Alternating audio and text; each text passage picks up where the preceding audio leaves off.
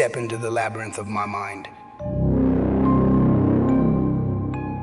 where reality intertwines with shadows and the boundaries of self blur into obscurity.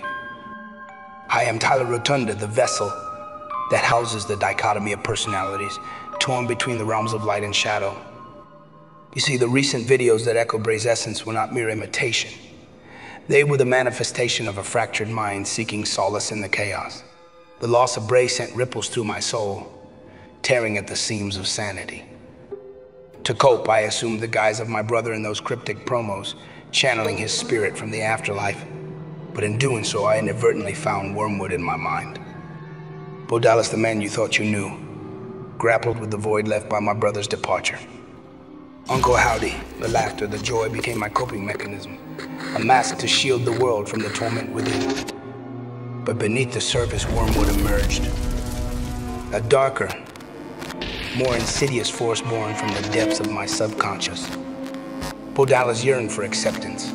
Uncle Howdy found comfort in laughter and pain. Wyrmwood revels in the shadows, waiting to dawn his presence.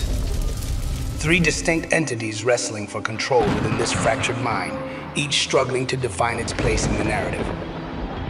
In the recent videos as Bray's influence loomed from the afterlife, I found myself lost in the dichotomy.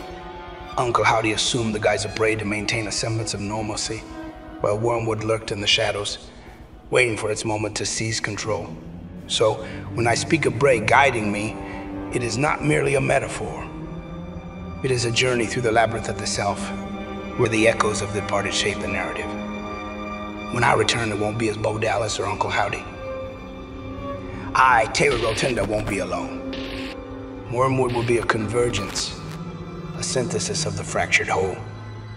Bray Wyatt guides me in my mind from the afterlife, a silent puppeteer orchestrating the grand spectacle. He's in my head. The stage is set, the shadows are cast, and when I emerge, the world will shudder at the revelation. You thought I was a joke, a punchline in the grand comedy of life. But when I return, it will be you who becomes the punchline. The laughter will fade, replaced by the cold realization that the true darkness resides within. Oh, my dear fireflies, the fun has only just begun. Follow the darkness, for Wyrmwood shall rise, and the world will tremble at the echoes of our legacy.